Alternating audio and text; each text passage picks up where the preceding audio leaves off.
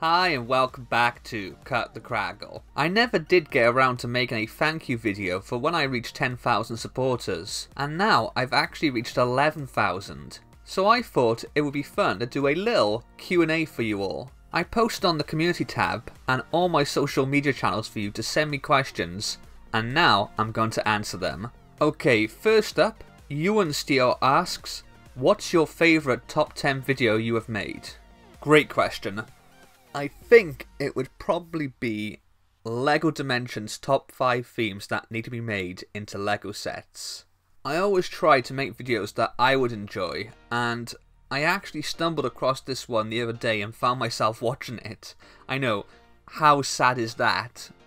But I was surprised by just how much of what I said actually came true. I said that LEGO needed to make a Flintstone set, and they did. I said that LEGO needed to make a Fantastic Beasts and Where to Find Them set, and they did.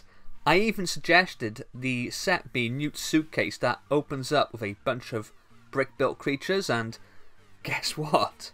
Even my idea for a Percival Graves minifig with a double sided head so you could transform him into Grindelwald made it into the official Wizarding World minifigure series.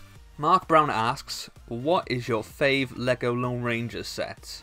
Either the Colby City Showdown or Silvermine Shootout. I do still have one more set in the theme to review, the Constitution Train Chase, so maybe that might take the lead, but at the moment I'd have to say one of those two. The Ex Machina guy asks, What is your favourite LEGO Ideas set? Up until very recently, I probably would have said the Ecto-1, but now I think it has to be the Treehouse. It's such a gorgeous set, it totally exceeded my expectations in every way. It looks so beautiful on display, but I also love all the little details and intricacies inside the house as well. If you're still on the fence about picking this setup, I highly recommend it. Old Man Joe 789 asks, Do you have a Lego City? No, but I wish I did. That's the dream, one day. I just don't have enough free space for a LEGO city right now, but I do have a ton of LEGO on display throughout my house. Seriously, when I told my folks earlier in the year that I was going to LEGO house, they were like, why bother? You already live in a LEGO house anyway.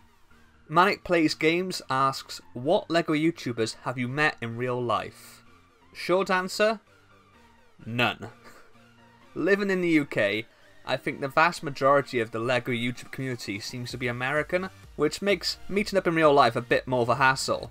Honestly though, I haven't really had much contact with other LEGO YouTubers. I did guest on the LJ Johnson show a few weeks back, but for the most part, I'm kind of just sat in the corner doing my own thing at the moment.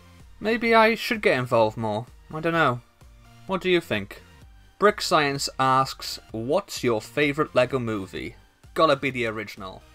I do love the Lego Batman movie as well, but I don't think they've ever bottled the same lighting they did with the first Lego movie.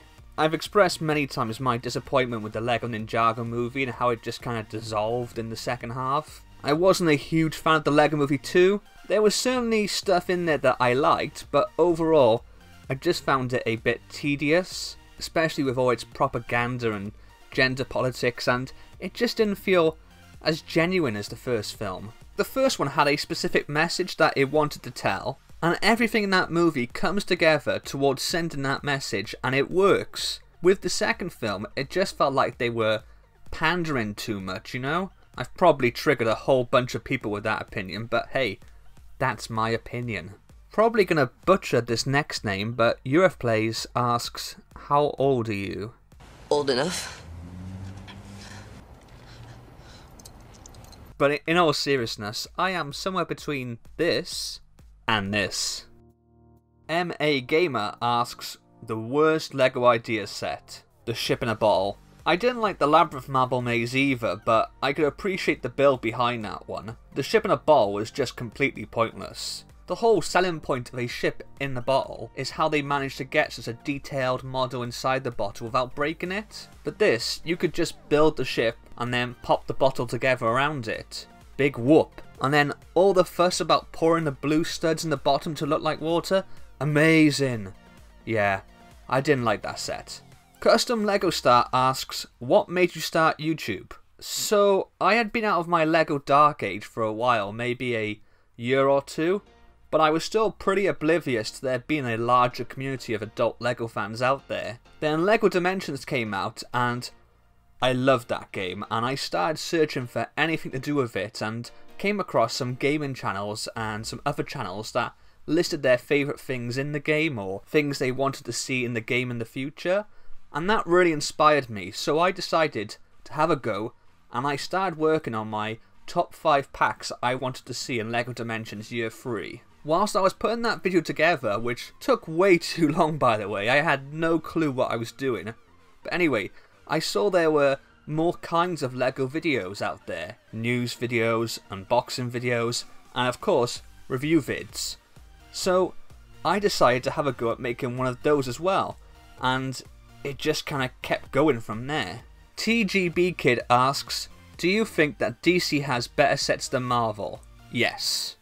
I may be biased as even though I like both, I am more a DC fan than Marvel. There's certainly a long running joke that LEGO Marvel has the most inaccurate sets when it comes to the movies, but I find Marvel sets just don't seem to have the same effort put into them as DC ones do. Anakin Skywalker asks, Do you see through the lies of the Jedi? Only a Sith deals in absolutes.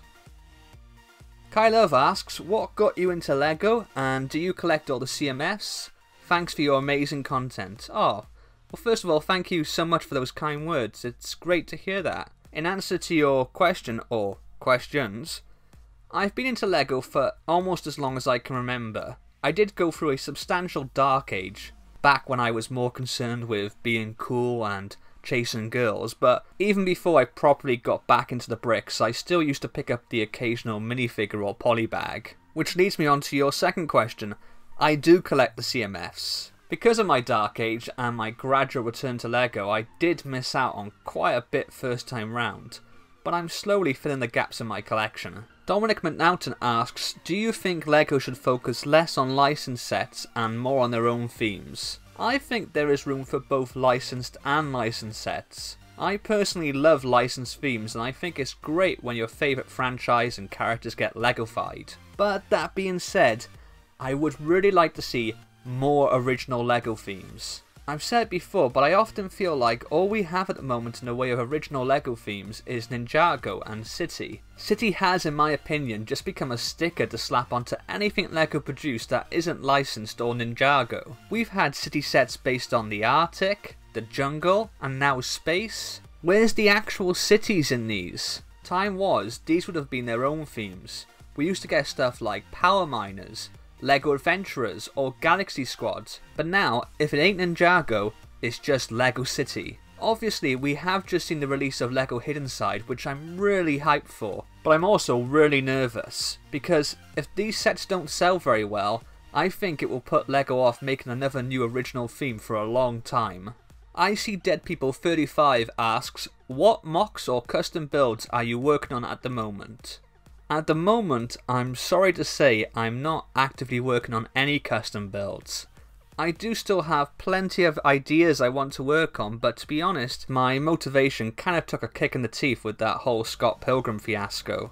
It's not even a conscious I'm throwing my toys out the pram sort of protest, I'm trying to get back into it, but I've just been struggling a lot with finding the drive to build my own stuff again. I did start a Wallace and Gromit MOC based on the wrong trousers, but I got so far and ended up tearing it down because I wasn't happy with it, and I haven't tried again since.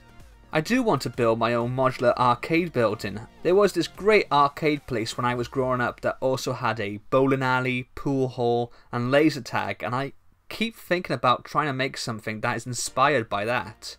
It wouldn't be something that I would post on LEGO Ideas, it would just be for me and my enjoyment. Of course, I'd love to make a video about it and share it with you all. I just need to find that drive again. Brickster Steven asks, any tips on becoming a LEGO YouTuber? Oh, wow. Well, thanks for this question, but if I'm being completely honest, I don't think I'm qualified to answer it. There are so many bigger and better LEGO YouTubers out there than me. I mean, for me, this is a hobby. I have a YouTube channel and I make videos purely for fun. I still have a regular day job that pays all my bills. This is just what I do in my spare time. So, if I have any tips, I would say have fun. Make videos you would want to watch and want to make, and keep having fun.